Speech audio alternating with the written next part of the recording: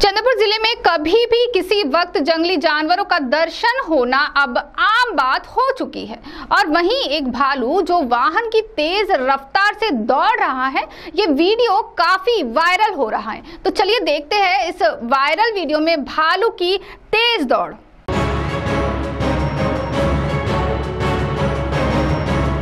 चंद्रपुर ज़िले में कब किस जंगली जानवर के दर्शन हो जाएँगे, ये कहा नहीं जा सकता। वहीं इस समय एक वीडियो काफ़ी वायरल हो रहा है, जहाँ एक भालू वाहन से समांतर होकर काफ़ी तेज़ी से रास्ते के बगल में दौड़ रहा है और इस दौड़ते हुए भालू का वीडियो कुछ उत्साही लोगों ने निकाल कर वायरल कर दिया है। इस भालू की रफ्तार रास्ते पर चल रहे वाहनों से तेज दिखाई दे रही है और मिली जानकारी के मुताबिक ऐसा अनुमान लगाया जा रहा है चंद्रपुर ज़िले के बल्लारपुर शहर के बामनी गाँव परिसर का यह दृश्य है और तड़के लगभग पाँच बजे के आसपास तेलंगाना जाने वाले महामार्ग पर यह भालू दौड़ते हुए दिखाई दे रहा है। बामनी यह क्षेत्र जंगल से लगकर है और बड़ी संख्या में नागरिक भी इस क्षेत्र में रहते हैं। वहीं वन विभाग को इसकी जानकारी मिलने पर इस भालू को तलाशने के लिए वन विभाग की टीम भी तैनात की गई है।